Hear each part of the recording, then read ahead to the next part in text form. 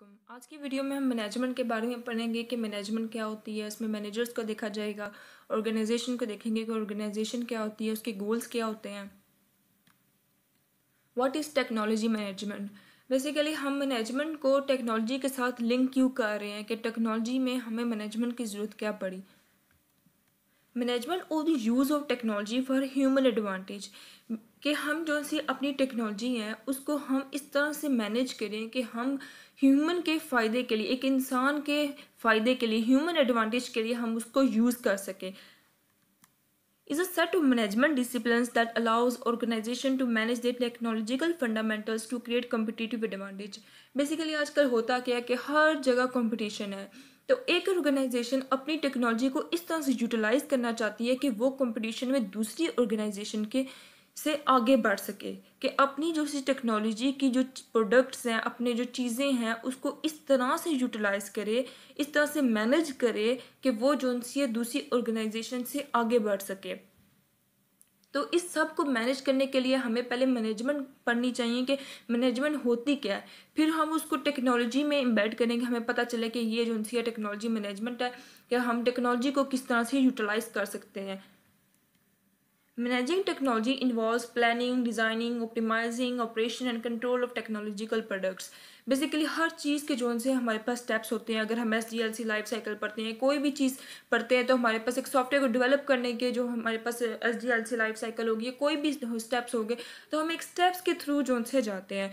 तो अपनी टेक्नोलॉजी को मैनेज करने में हमारे पास कौन कौन से स्टेप्स आ जाते हैं, उसमें हमारे पास आ जाता है कि हमने पहले, सबसे पहले प्लान करना है कि अपने टेक्नोलॉजी के जो प्रोडक्ट्स हैं, उस, वो हमने रखने कहाँ पर है, उसकी उनकी कौन से, कहाँ कौन कौन सी कस्टमर्स के लिए हमने जो उनसे अपने प्रोडक्ट्स रखने हैं, उनको डिज़ाइन करना, उनको ऑप्टिमाइज़ करना, फिर उनके बाद जब वो हो चुके उनके बाद उनको कंट्रोल करना, इन सब चीज़ों को टेक्नोलॉजी को मैनेज करने के में हमारे पास ये चीज़ आ जाती है कि हम अपने टेक्नोलॉजिकल प्रोडक्ट्स जो उनसे हैं, उन पर ये, जो उनसे स्टेप्स हम परफॉर्म कर सकते हैं। अब सारा काम करने के लिए कोई तो बंदा चाहिए ना जो हमें इस चीज़ को मैनेज कर सके। अब कोई बंदा ना होगा तो क्या होगा? हर बंदा अपनी अपनी राय रखेगा और वहाँ पे जो से इतलाफात ही होते रहेंगे। टेक्नोलॉजी मैनेज होने के बजाय सारा तो काम ही ख़राब हो जाएगा। एक ऑर्गेनाइजेशन के लिए सबसे ज़्यादा ज़रूरी चीज़ जो सी होती है वो, वो उसका मैनेजर होता है। मैनेजर कौन होता है? सम वन वो coordinates and oversees the work of other people so that organisation goals can be accomplished एक मैनेजर को, बल्कि हर ऑर्गेनाइजेशन के बंदे को ही पता होता है कि हमारी ऑर्गेनाइजेशन के गोल्स क्या क्या हैं। बट क्या होता है कि हर इंसान की अपनी अपनी चॉइस होती है तो कभी कभार वो उस हिसाब से चलना चाहता है। तो एक मैनेजर जो है, वो ये देखता है कि ऑर्गेनाइजेशन में जो बंदे काम कर रहे हैं, वो इस तरह से क्या उनका काम जा रहा है कि वो जो काम कर रहे हैं, वो ऑर्गेनाइजेशन के गोल्स को अकम्पलिश कर रहा है कि नहीं कर रहा? तो वो क्या करता है कि पूरी ऑर्गेनाइजेशन के बंदों को जो है कोऑर्डिनेट करता है, उनके काम को देखता है। ये देखता है कि वो जो काम जो है, वो ऑर्गेनाइजेशन के गोल्स को अकम्पलिश कर रहा है कि नहीं कर रहा? अब मैनेजर्स इंपॉर्टेंट ही क्यों है? हमें ज़रूरत क्या पड़ी है कि इतनी जो सी सैलरी मैनेजर को दे दे? हर बंदा अपना काम कर रहा है ना तो मैनेजर की हमें क्या ज़रूरत पड़ी है? तो ये देखते हैं। Organization need their managerial skill and abilities more than ever in in these uncertain, complex and chaotic times. Basically इस जो से दौर में जब ऑर्गेनाइजेशन को मैनेजर की ज़रूरत क्यों पड़ी? कि हर बंदे क्योंकि ऑर्गेनाइजेशन छोटी भी हो सकती है बड़ी भी हो सकती है तो आजकल के दौर में जहाँ टेक्नोलॉजी बहुत इवॉल्व हो रही है, एक ऐसा बंदा चाहिए जो अपनी प्रोडक्ट को, अपने सॉरी ऑर्गेनाइजेशन को जो से अप टू डेट रख सके। इस अफरा तफरी के ज़माने में हमारे पास ऐसा कोई बंदा होना चाहिए जो पूरी, जो सी ऑर्गेनाइजेशन को एक स्मूथ वे में लेके जा सके। तो ऑर्गेनाइजेशन इन चीज़ों के लिए बहुत जो मैनेजर है, वो बहुत ज़रूरी है। एक मैनेजर के पास मैनेजर स्किल होनी चाहिए। उसके पास ऐसी एबिलिटी होनी चाहिए कि वो सारी ऑर्गेनाइजेशन के बंदों को पीपल को इस तरह से मैनेज करे कि वो सारे काम एक दूसरे के साथ अच्छे तरीके से काम कर सके, उनके दरमियान कोऑर्डिनेशन पैदा करे। Managers are critical to getting things done managers बहुत ज़्यादा ज़रूरी हैं कि काम जो है वो करने के लिए। The single most important variable in employee productivity and loyalty is the quality of the relationship between employees and their direct supervisor.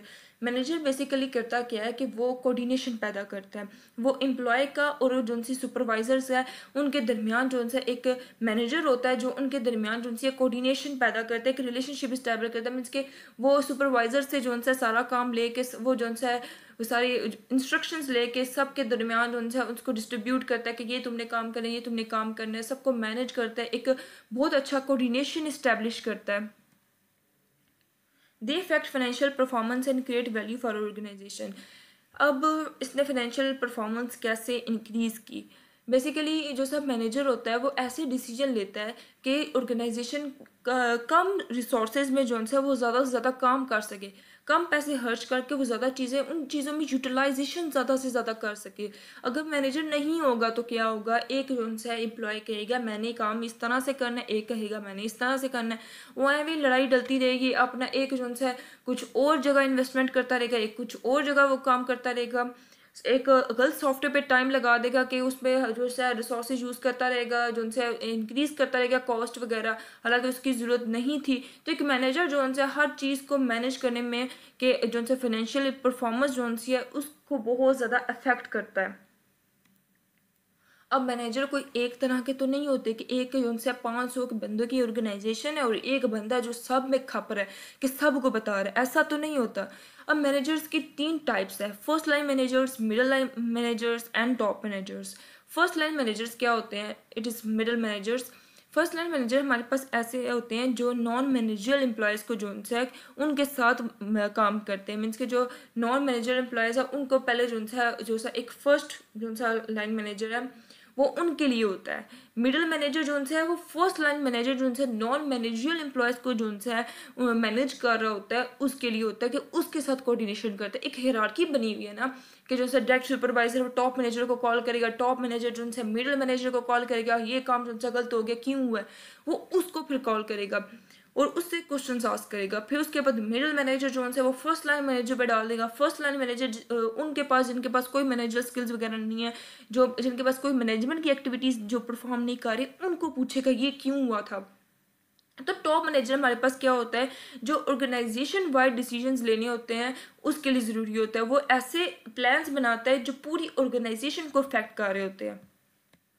ये इसकी हिरारकी बनी हुई है कि पहले टॉप मैनेजर्स हैं, फिर middle manager and first line manager and then non manager employees अब ये और जैसे मैनेजर हैं, ये काम कहाँ पे करते हैं? अभी तक तो हम वही डिस्कस कर रहे थे, पर देखते हैं ऑर्गेनाइजेशन मैनेजर्स बेसिकली ऑर्गेनाइजेशन में काम करते हैं। कभी आपने देखा है कि एक, जी आते जाते बंदे इकट्ठे हुए हैं हुई हैं तो जो है, जी, कोई भी आके जो है रूल कर रहा है, उनको मैनेज कर रहा है, ऐसा नहीं होता। एक ऑर्गेनाइजेशन में ही मैनेजर का जो है रोल परफॉर्म होता है। हर जगह नहीं कि जो उनसे हम कह हैं कि घर में मैनेजर लगा हुआ है, कोई कि हम वहाँ पे काम कर रहे हैं, ये वो। तो एक स्पेसिफिक जगह जहाँ पे उनका एक काम है, जहाँ पे वो वर्क करते हैं। तो अब ऑर्गेनाइजेशन क्या होती है? क्या हम कह सकते हैं कि कहीं जगह बंदे इकट्ठे हुए हैं तो वो जो उनसे एक ऑर्गेनाइजेशन है, नहीं। ऑर्गेनाइजेशन क्या होती है, ये देखते हैं।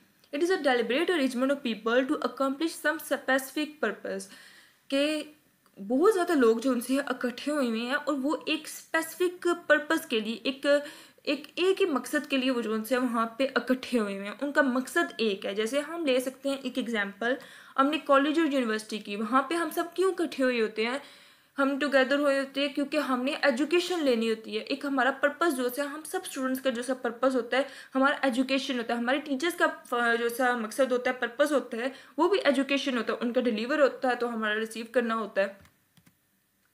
अब एक ऑर्गेनाइजेशन में कौन कौन सी खसूसियात कौन कौन से करेक्टरिस्टिक्स होंगे कि हम उसको ऑर्गेनाइजेशन कह सकते हैं? फ़र्स्ट चीज़ जो उसके हमारे पास, एक ऑर्गेनाइजेशन के डिस्टिंग पर्पज़ होंगे, उसके पास गोल्स होंगे। अगर ऐसे तो नहीं कोई बंदे इकट्ठे हुए हैं, आराम से बैठे हुए हैं, उनका कोई मकसद नहीं है, वहाँ पे आराम से जाके बैठ गए हैं, उनके, उनको कोई सैलरी मिली जा रही है, वैसे ही मैनेजर आ रहा है ये वो। तो एक ऑर्गेनाइजेशन के गोल्स हैं, जिसकी वजह से वो इकट्ठे हुए हैं उस गोल्स को परफॉर्म करने के लिए। और दूसरी बात ऑब्वियसली कि एक ऑर्गेनाइजेशन में हमारे पास लोग होंगे।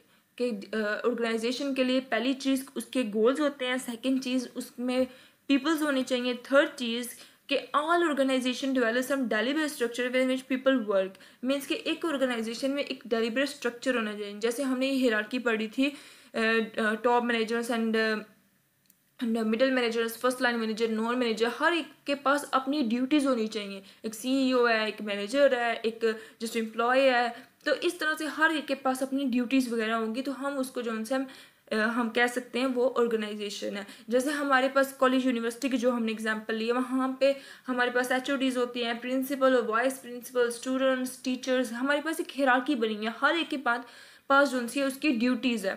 आपको वीडियो पसंद आई हो तो वीडियो को प्लीज़ लाइक कीजिएगा चैनल को प्लीज़ सब्सक्राइब कीजिएगा और शेयर कीजिएगा। Thank you so much